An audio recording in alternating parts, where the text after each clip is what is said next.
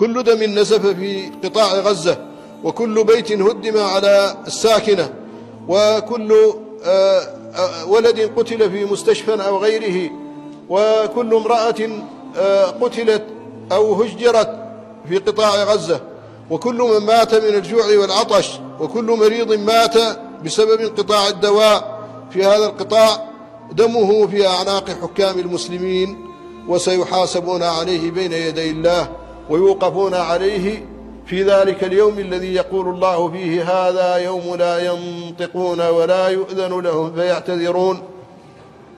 هم مسؤولون جميعا لأنهم قادرون على إيقاف هذه الحرب من أول يوم وتتذكرون أنه عندما قامت الحرب في أيام الشهيد محمد مرسي رحمة الله عليه قال كلمة في الإعلام قال لن نترك غزة وحدها.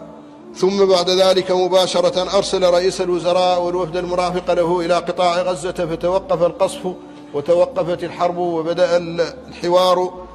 وهذا أمر سهل بالإمكان أن يقوله رئيس تركيا وبالإمكان أن يقوله ملك السعودية وبالإمكان أن يقوله أي رئيس من البلدان من رؤساء البلدان بلدان العالم الإسلامي. ولو قالوه لتوقفت الحرب.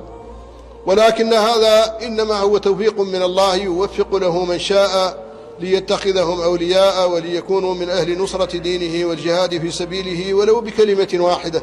يكون الإنسان مجاهدا ويحيي الله به الموتى ويشفي به الجرحى ويعيد به آه، إطفاء الحرب التي تعهد الله بإطفائها.